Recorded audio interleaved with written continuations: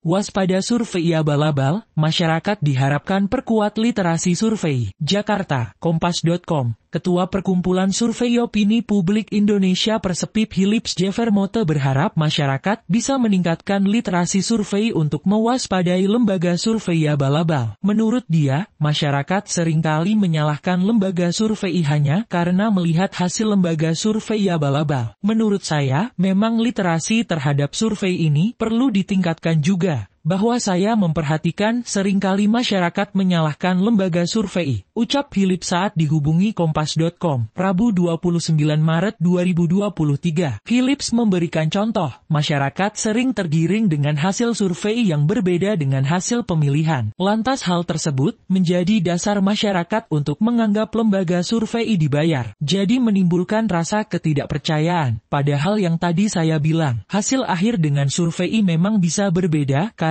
survei itu menunjukkan hari di mana survei dilakukan. Selain itu, Philips mengatakan Persepi menjadi organisasi yang memberikan pengawasan kepada lembaga survei yang tergabung dalam Persepi. Kita akan terus berusaha untuk menjaga kualitas riset, menjaga integritas dan lain-lain, karena ada mekanisme internal gitu. Imbuh dia. Di sisi lain, peran media massa juga menjadi penting. Menurut Philips media harus berperan aktif untuk menjaring informasi apakah lembaga survei itu abal-abal atau tidak. Media kan juga bisa kritis terhadap lembaga abal-abal ini, kadang media memberikan ruang dengan mengutip, membicarakan hasil survei yang tidak diketahui integritasnya. Pungkas Philips.